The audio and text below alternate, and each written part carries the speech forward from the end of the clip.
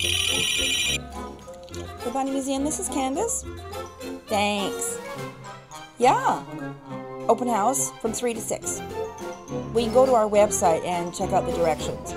TheBunnyMuseum.com. Stepping into the Frazee home is like stepping into a modern day rabbit hole where all things are bunny. Candace Frazee and her husband Steve have built their lives around bunnies, collecting more than 23,000. That's right, 23,000 bunny items that take up every inch of space in their home. But it doesn't end there, their bunny collection just keeps on multiplying. This is the first bunny that started the whole collection. This one my husband gave to me 14 years ago on Valentine's Day because we call each other Honey Bunny. And then I gave him this one at Easter.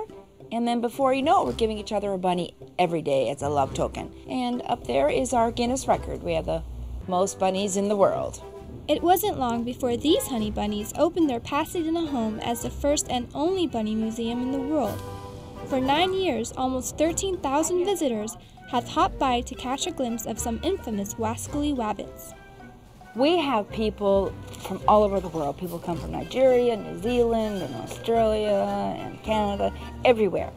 The Frazees don't do it for attention. They don't do it for money. They say they do it because they're in love.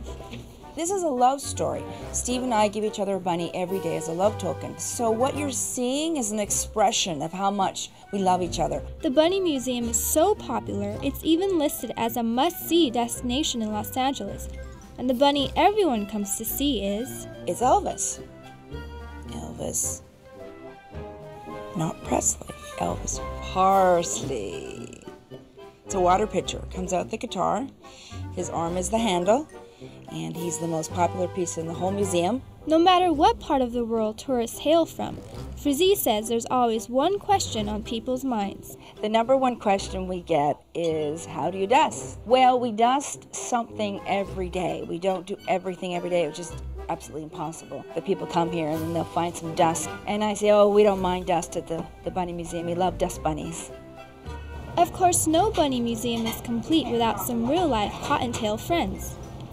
Make no doubt about it, one day these bunnies will enter the collection. The couple freeze dry their first four bunnies, which are on display. This may seem a bit hairy, but to the Frazees, they're simply preserving a bunch of happy memories. It's a very unique collection that tells our love story, the little places we've been and things we've done. To the adoring couple, the museum is a symbol of their love that they hope people passing through will take home with them, along with a bit of bunny on the brain. Have a happy day!